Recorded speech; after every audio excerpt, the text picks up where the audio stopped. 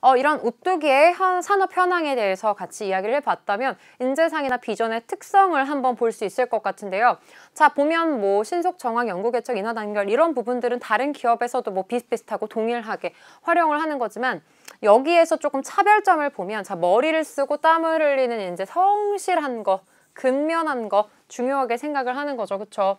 자기 개발은 뭐 다른 기업들도 마찬가지고요. 또 뿐만 아니라 자 인재상 부모 윗사람을 공경 음. 타인 배려는 되게 많은데 부모 윗사람 공격 이런 거 없잖아요. 그렇죠? 음. 조직과 가정의 절약 정신 바른 인재 아, 좋아하는 거죠. 절약하래요. 그렇죠? 음. 마찬가지예요. 법규와 약속을 잘 짓고 규정과 에티켓을 잘 지키고 올바른. 그래서 한마디로 키워드는 올바른이 될 수 있겠죠. 또 마음과 정성으로 사회와 타인을 위해 봉사하는 마음, 상생에 대한 키워드.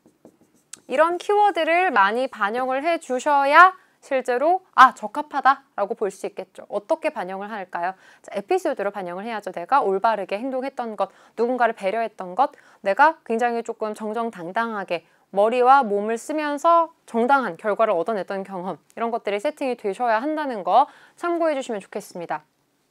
자, 실제로 이런 키워드들 앞에 있는 키워드들 제가 가지고 온 거거든요. 여기에 나와 있는 키워드들 가지고 온 건데 실제로 면접에서는 서류 전형, 정량평가, 정승평가, 이력서, 뭐 영어 점수, 학점 이런 것들이죠. 성실한지가 딱 정량적으로 나오는 기준. 자기소개서 내가 어떤 캐릭터인지 그리고 오뚜기에 대해서 얼마나 관심이 많은지 정성적으로 어, 노력한 자소서 그쵸? 그리고 인성검사. 여기에서 실제로 이 사람이 이 바른 경영 우리 오뚜기 인재상과 잘 맞는지가 어느 정도 평가가 되어 있을 거고요. 여기에서 질문들도 도출될 가능성이 높습니다. 그러면 이런 질문들 도출된 걸 바탕으로 역량 면접이 이루어지고요 인성 면접이 이루어지고요 플러스로 PT나 음, 아니면 실제로 산업 관련된 관심들에 대해서 물어볼 수 있는 이런 면접 질문들이 주어지는 거죠.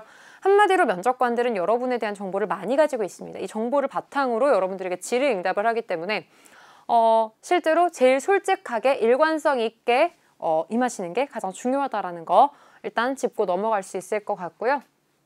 자, 아까 말씀드렸던 지원 동기 답변 구성 툴. 방금 전에 제가 말씀드렸던 것들이 실제로 지원 동기를 구성하는 데 있어서 제일 핵심 요소들인데 자, 일단 보세요.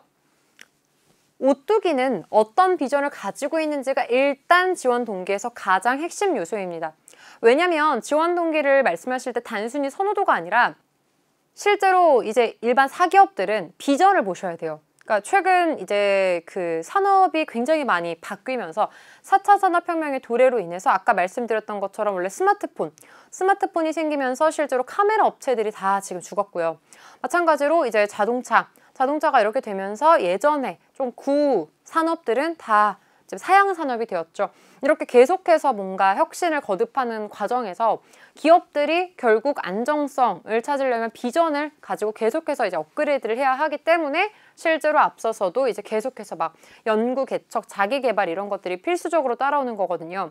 지원 동기는 실제로 내가 혼자서 잘 나가는 것이 아니라 이 기업과 함께 발전할 수 있을 것. 한마디로 이 기업은 지속될 수 있을 것이라는 확신을 내가 가지고 있는 산업에 대한 insight로 어필을 해주시는 게 사실 아, 이 사람은 진짜 산업에 대한 흐름도 알고 있고 우리 기업에서 진짜 비전을 좀 발견을 했고 이쪽 산업에 대한 관심을 가지고 있고 한마디로 성의가 있구나. 우리 기업에 입사하기 위해서 이렇게까지 산업 분석을 했고 이렇게까지 비전에 대해서 찾기 위해 노력을 했구나 라는 성의로 보여질 수 있는 거죠. 그래서 지원 동기는 지금 이런 업계 상황에 있어서 너희의 이 방향성에 정말 공감하고 너희는 정말 비전 있는 기업이라 지원을 했고 내가 이 안에서 이런 역할을 해보고 싶어서 지원했어. 가 제일 좋습니다. 그래서 비전에 대해서 알고 있고 내가 이 안에서 이러한 역할을 해보고 싶기 때문에 지원을 했다라는 뉘앙스로 가시는 지원 동기가 가장 이상적이고요.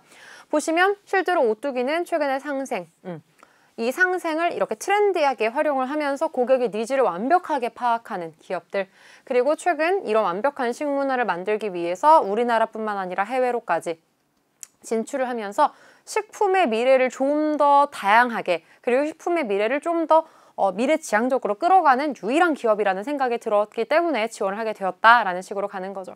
한마디로 해당 산업을 완벽하게 하드캐리한다라는 식으로 말씀을 해주시면서 오뚜기가 현재 해나가고 있는 방향에 대해서 얘기를 해주시면 제일 흡족할 것 같고요. 여기에서 내가 적합한 인재라고 생각하는 이유는 내가 갖춘 직무 역량을 소개해 주시는 거죠. 저 정량적인 건 실제로 이력서인 거죠. 음, 언어 능력, 그리고 이쪽 관련된 공모전 경력, 혹은 경험들 그리고 해당 식품 산업 관련해서 내가 이렇게 포럼도 참여하고 아니면 이런 홍보 대사로도 활동을 하면서 이 부분에 대한 완벽한 insight를 가지고 있을 뿐만 아니라 정성적인 역량도 필요하겠죠. 특히 상생의 정신, 가치관에 공감하기 때문에 지원하였다라는 식으로 가져가실 수 있다면 어, 오뚜기에 내 역량을 잘 활용할 수 있다라는 논리로 가져갈 수 있는 거죠. 이 논리가 실제로 여러분들이 자기소개서에 쓰신 내용과 거의 동일하실 겁니다. 근데 방향 구성을 하실 때 이걸 그대로 읽듯이 가시는 게 아니라 내가 생각을 하고 오뚜기는 이러한 비전을 가지고 있고 내가 가지고 있는 이런 이런 가치관과 이런 역량을 이렇게까지 활용할 수 있을 것 같아서 지원했어요 라는 식으로 지원 동기 구성을 만들어 두시면 실제로 이 다양한 지원 동기 관련된 질문들을 커버하실 수 있겠죠.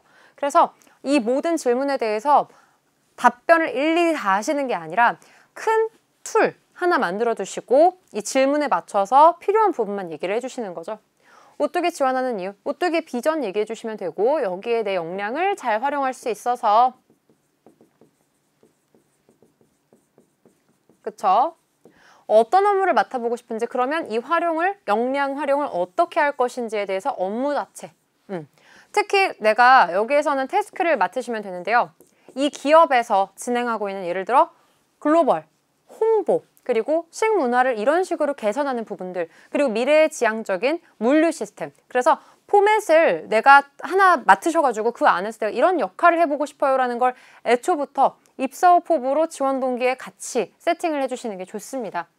예를 들어 나는 한식 문화를 조금 더 많이 알리고 싶다라는 거에 좀 관심이 있고 그쪽 관련된 경험이나 자격, 역량들이 있다면 바로 여기다가 활용을 해서 얘기를 해주시면 좋겠죠.